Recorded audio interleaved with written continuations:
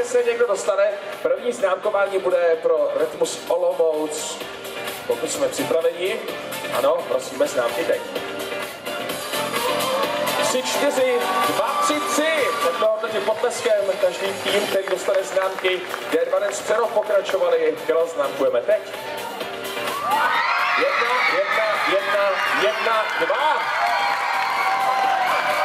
Taneční škola Anery pokračovala, známkujeme prosím teď.